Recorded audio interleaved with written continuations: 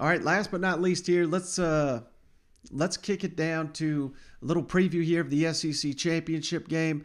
I wanted to go a little bit longer, but uh, with all the te- technical difficulties we're having here, I'm to make this one short. But uh, we had Travon Walker, Quay Walker, scoured the internet for uh, player quotes. We're going to have Kirby, Nick Saban, and Greg Sankey speaking on Thursday. So we'll have some good stuff for the Friday show. But uh, in the meantime, we got player quotes. And I thought it was interesting uh, both these uh, Bulldog defenders asked about Alabama. Any extra motivation? Certainly seemed like they're kind of biting their tongue a little bit on this one. Travon, is it is it really just another game? Is that or how how bad do you want to beat them? Nah, I can't say I really do want to beat them bad. I really want to beat them, but it, I uh, it is just another game, but it's SEC for the SEC, so it means a lot more to win this game. But it's at the end of the day, it's still football. Does it mean anything that it's Alabama to you at all? I mean, you guys, the program has just struggled against them recently. Uh, it does since because we lost to them last year, and then we also, if I can't recall, I want to say we played them my freshman year also, but it would mean a lot just to uh, get a win. Well, I know you guys try to treat all games like they're the same, but this one's actually for a championship, and it's against Alabama is it the same? I mean, is there any more juice? Is there any more focus? I mean, does anything at all change for a game like this? Uh, I think pretty much, you know, your focus have to, you know, adapt a little bit. But I think that's always been our motive this whole year. Um, no matter what game it is, we treat all of them the same. We don't need nobody to try to do anything different than what they've already done this whole year. Um, but other than that, uh, we just got to go out and execute, and everything else to take care of itself. So you know. And one more Georgia quote that uh, this was the best quote of the week so far, I thought, uh, from uh, redshirt freshman receiver Ladd McConkey. He says, and Bulldogs are head down to Atlanta to make a statement. And hey, both these teams, they're, they're getting coached so well. Don't say anything. Don't post anything. Let's not give him any more motivation. And I'm not saying that he is here, but uh, this is about as bold as you're going to hear this week leading up to the SEC championship game just when it comes to um, the stage that you're on Saturday, uh, would would you the the setup is that you know Georgia's number one. They could even lose this game and still make it to the playoff. I'm pretty sure that's not the way you guys look at it, though. But would you would you characterize this team as being um, loose or or uh, I don't know? How would you de- describe I mean, the, the, the team? Definitely no, we're not loose. I mean, we're we're approaching this week like any other week. I mean, we we have we're trying to make a statement.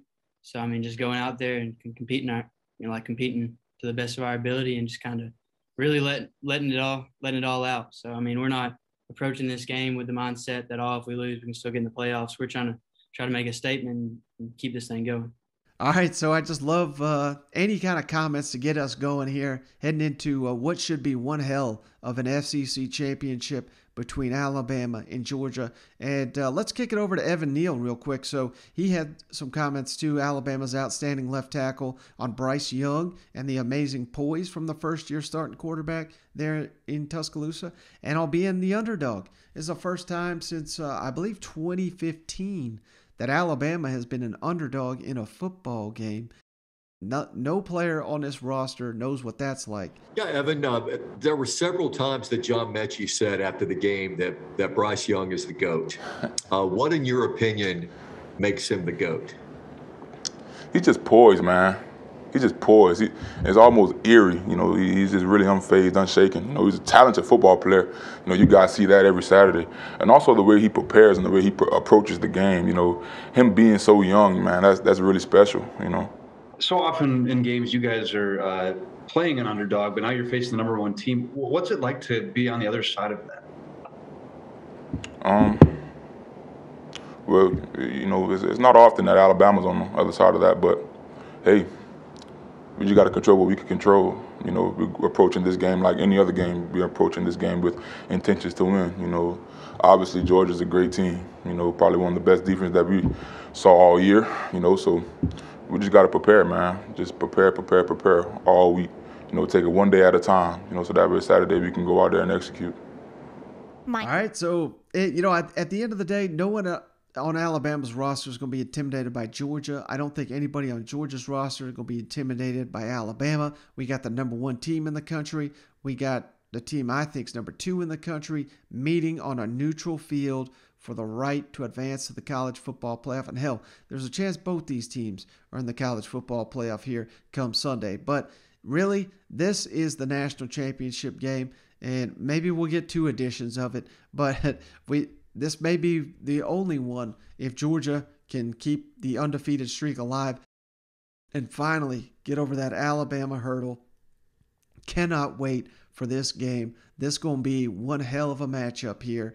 And uh, man, I'm just getting fired up thinking about it. All right, so that's going to cut it on this one. Like I said, I had to record this one twice, so I'm just hoping and praying this one worked. I got no way of checking until I've done hitting the record button here. So uh, fingers crossed that uh, this works works out. But uh, again, sorry for a little bit of a delay. I didn't want to be up all night, so I woke up early to, to get this thing up to you guys. But uh, that is going to do it for the latest episode of the show. I appreciate each and every one of you for hanging out. Cousin Shane will be back on Friday's show where we're making our picks for the SEC championship game. Uh, again, Kirby and Nick Saban will be speaking. Greg Sankey, we'll see what comes of that. And I teased it earlier in the week, but Shane and I, we're going to preview the, the 13 teams headed to a bowl game. Which game, which teams do we want to see them face from around college football? So uh, should be a fun show to cap off the week heading into the SEC championship game. I do appreciate each and every one of you for hanging out. We'll catch you on the next one.